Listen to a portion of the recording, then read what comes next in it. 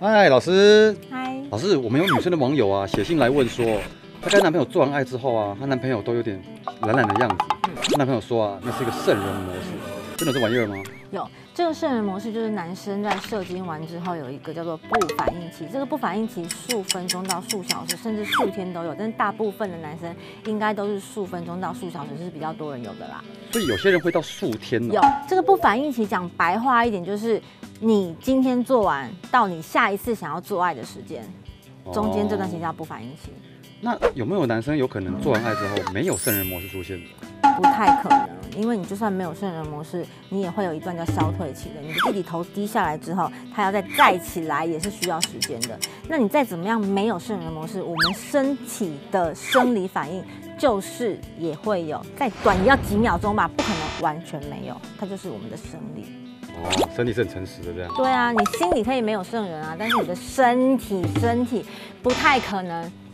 懂吗我来告诉你为什么。对啊，老师，这圣人模式是怎么来的？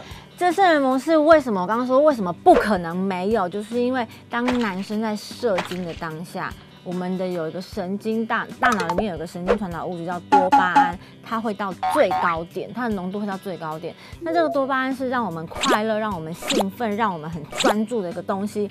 那还记得我们之前有影片说男生射精完会分泌另外一个荷尔蒙吗？叫做泌乳激素，还记得吧？泌乳激素跟多巴胺，它们两个是互相会抑制的，所以当你泌乳激素出来之后，刚刚那个让你快乐、让我刚刚那个让你快乐、让你兴奋的那个多巴胺就会开始下降，所以你就会变得相对冷静，没有比较没有欲望的这种状态当下。所以，所以泌乳激素也会影响。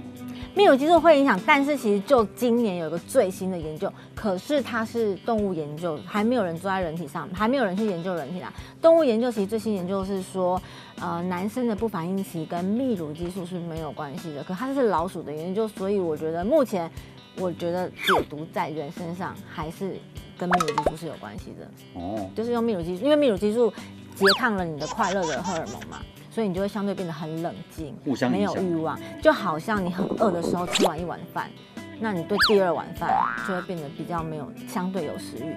那就心理上面来解释呢，你的性欲一旦被满足之之后，你要有第二次，你的那个欲望本来就会比较低。所以刚刚问我有没有可能没有圣人模式，不太可能，因为你的性欲一旦被满足，你再怎么样欲望就是会比较相对的低一点点。了解。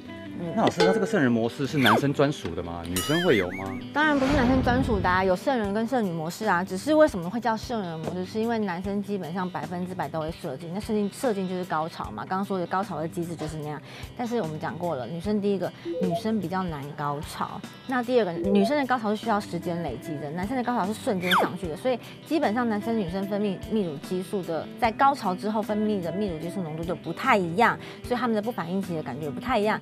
但是呢，女生的泌乳激素是什么时候会比较明显？就是圣女模式，那个就叫做女生的哺乳期。女生在哺乳的时候，泌乳激素会浓度比较高，所以很多女生在生完小孩或是在哺乳的时候，她就会说，哎，她她就会对，她就会比较没有欲望。所以其实男生你有圣人模式，女生也可以有圣女模式，多多体谅你产后的老婆吧。所以呢？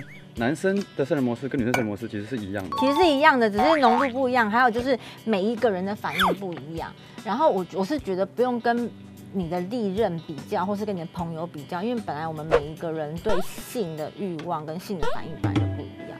所以，但是的确也有高潮的话，也是会有圣人模式。的确，女生如果真的有高潮，她也会有一段放空甚至想睡的时间。男生有的，女生都有。所以女生没有圣圣人模式是男生的问题。嗯。是这样吗？但是你也不用用拿这个去跟女生说，哎，你怎么没有发呆？